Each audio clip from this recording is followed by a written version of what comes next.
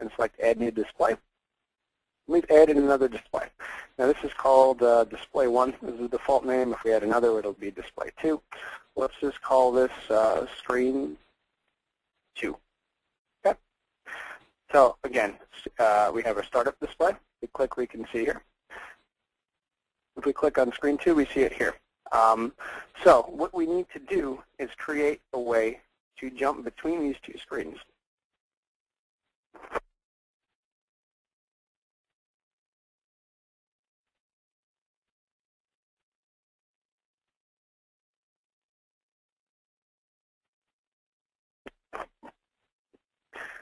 Sorry, sorry, I was coughing again.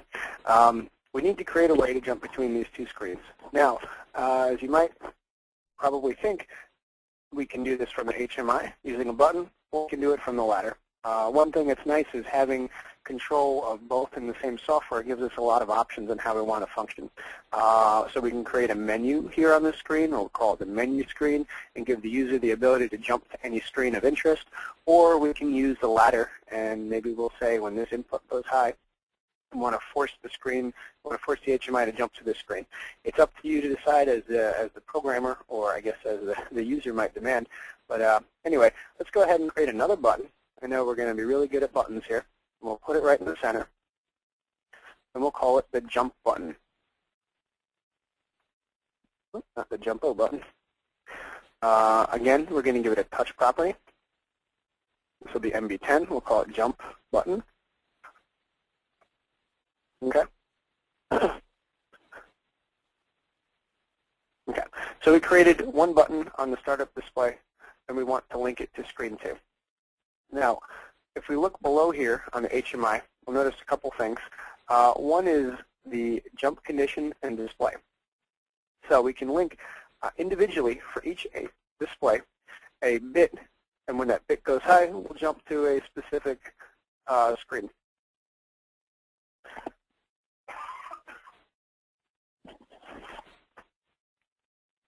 Okay, so we just said we're going to use MB10. Again, we just click here. We bring up the select operand and address. And on the right side, we're going to select the display we want to jump to. So we know it's screen 2, so let's click here. We'll select screen 2, and we'll hit OK. Great. So now we've set up from our main display here, when we press the jump button, we'll jump to screen 2. Now, let's take a look at screen 2. We have to realize, though, that since these are local settings, local conditions. On screen two, if we got the screen two here, we would have no way of jumping back to the main screen. So we need to create a button on screen two as well to jump back. Now, one of the nice things is uh, if we want to consider these settings that we have uh, relative to each HMI, meaning uh, we have to configure them for each screen, we can say that this is uh, kind of a local variable. Uh, we have MB10 is linked to this jump button. Uh, I can use it in the next net as well. Uh, and I can show you that if we want to copy and paste or copy. We'll go to screen two. We'll hit paste. Since we know that there's nothing underneath there, we can paste onto that spot. Now, because the MB10, uh, the, the, screen jump condition is uh, relative to only that screen being displayed, I can use this one. Again, remember it's MB10. We just copied and pasted it. I can use this MB10 to jump back to the main screen as well. So we'll do that. We'll select Startup Display, and we'll hit OK. Good. Now we have all this HMI real estate we can use. Uh, we're, we're, only going to work with two screens in this example. If we wanted to have uh, three or four or five, we can create them just the same. Select Add New Display. Maybe we'll create more than just a jump button. We'll create a forward and back button, and we'll link the appropriate uh, bits and, and, screens we want to jump through, or we can create a menu page. Again, it's up to you to decide. Uh, but in this case, we're just going to use the second screen here.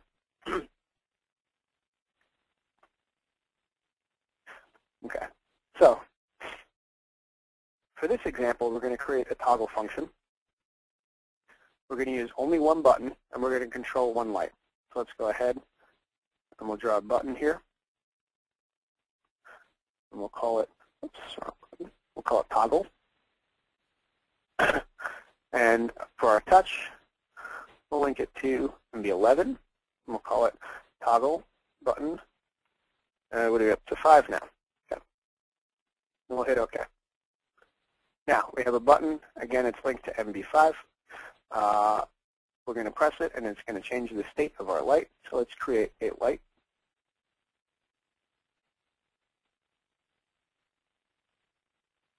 Again, just the red and the green. And we'll link it to light output 5. And we'll hit OK.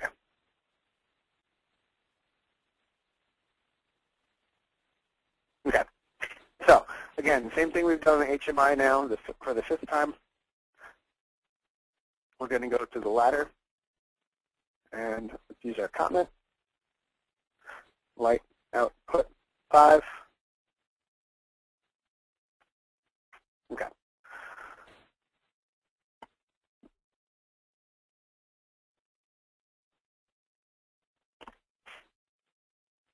Now we're going to use the press of a single button. So we don't have an on and off button. We're going to use just one contact. And we're going to use the positive transition contact. So I'll place it here. Uh, we're going to use this because we want to know when the button was pressed and only when it was just pressed. We don't want to continue to toggle or flip these lights on and off while the button is being pressed. We want to press it once, and then in order to turn it off or to toggle it again, you have to lift your finger and press it again. Okay, so let's link this to our toggle MB11. And we're going to use a set and a reset coil. Uh, so let me just pull those out. I'm going to place them right here. And our output was 12, MB12, a set and a reset. Okay. Now, if we take a look at this, we can maybe think for a second. We're going to have one button. We're going to press it. And we want it to alter the state of MB12, which is the same bit. We can't set and reset at the same time. So what can we do to ensure that uh, when we press the button, it will, it will alter its state? It won't just continue to set it or continue to reset it.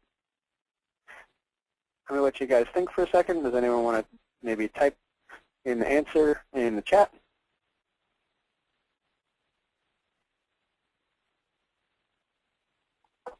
Okay, so we're going to use the contacts and the inverted contact to determine whether we want to set or reset. Now this is really great. The positive transition is only going to activate this network for one scan, so we don't have to worry about it flipping back and forth. So we just need to set it up to do a single either the set or the reset. Now what condition would make sense uh, for MB12 that we'd want to set it? Uh, the answer is the reset condition. So if MB12 is low, we want to set it. So we're going to go ahead and grab the inverted contact and link it to MB12. Okay. Now if MB12 is high, we want to reset it. So let's go ahead and take the direct contact and also link it to MB12. and now I'll collect, connect these two separate nets in parallel. Uh, again, I can select here the connect elements or I can just double click in the white space and I get the crosshair. And I can draw this straight up. And again, remember, we need to draw these lines to the junctions. We can't just draw them anywhere. But uh, this net now, when we press MB11, or the toggle button, if MB12 is low, we're going to enable the set. If MB12 is now high, we're going to enable the reset. So it's a nice little network. Again, these are uh, networks that are kind of legacy networks, but they still come in very handy. Uh, let's download this to the controller. okay,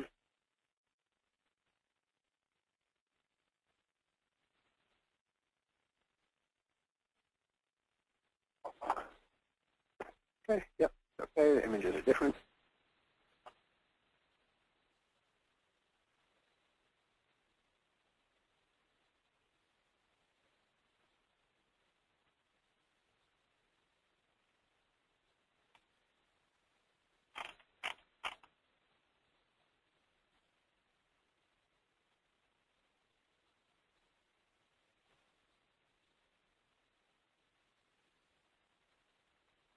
Okay, so hit the run, and now we're going to go online again.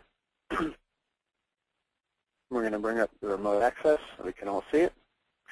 Make it a little bigger. And first I'm going to hit the jump button. We should see we jump to the next screen. We'll hit it again. Great. So we now know how to create more than one HMI and how to navigate through them using the buttons on the HMI. Uh, we can go ahead and press the toggle button. I'm going to press it and hold it. And I press it once and I hold down. We notice that it went from high to low. Now I'll let go and I'll press and hold again. We notice it goes from low to high. So again, let's take a look at the network. We have the positive transition of MB11. Again, that means only when we press the button will it activate. We use the direct and inverted contacts to determine whether we want to use the set or the reset coil. Since it's high, MB12 direct contact is high, so we've enabled the reset on the next button press. So I'll press the button, and we've reset. now we have MB12, the inverted contact. Since the bit is low, it's going to pass to the set coil of MB12. We'll press the button one more time, and we see we've set it. Okay, so again, like our previous latch example, these are examples of uh, of uh, what what programmers did uh, with relay programming before we had a more advanced operating system. let's leave the online test here, and let's look at another function we have. It's a very nice function. Uh, again, let's create a toggle button and a light first. So we'll create below this another toggle. We'll just call it toggle. And we'll link it to MB13, toggle button 6. And we'll quickly create another light here.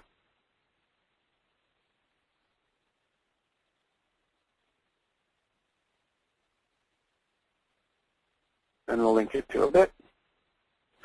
Light output 6. Okay. Good. So again, same setup as we had before on the HMI. We'll go back to the main routine. We'll create light output 6. And again, we're going to take our positive transition of our button, which is MB13, our toggle button 6. And we have a very nice Boolean coil called the toggle coil. And we'll just place that here. And we'll link it to MB14, which is the output. Now, we've recreated in this four uh, element network uh, the same function in this one output coil. And again,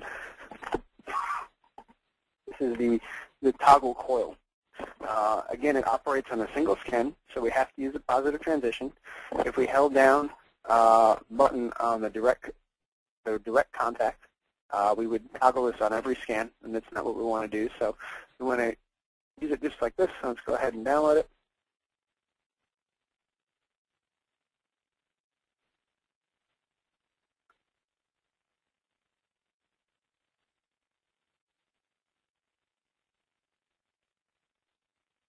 And we'll hit OK.